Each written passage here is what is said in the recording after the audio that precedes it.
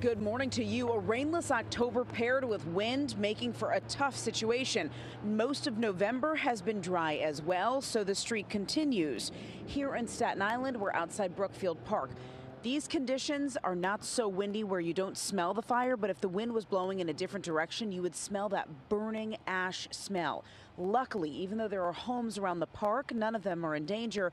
The fire is deep inside Brookfield Park, and that's part of the problem because firefighters are having a tough time getting to that fire firefighters marching into the park with gear, but they do have it under control. That is the good news. With dry conditions in addition to wind, the FDNY is keeping a close eye on this. This is reportedly the fifth fire in recent days. The dry weather combined with the record temperatures across the tri state has contributed to a higher fire risk. In the extremely dry October, putting fire officials in New Jersey on notice. In New Jersey, the Forest Fire Service responded to more than 500 incidents last month. Look at these flames.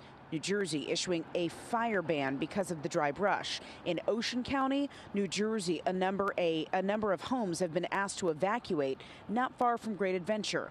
25 structures in the area are being threatened by a wildfire in Jackson Township.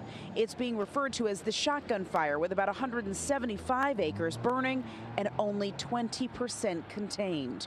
Forest fire crews have been surrounded by the blaze on the ground with fire engines and bulldozers. Part of New Jersey's fire ban prohibits all fires unless using an elevated stove, but no wood or charcoal fires are allowed. Kerosene definitely not allowed. The next several days are of specific concern because of forecasted wind gusts as well as this low humidity.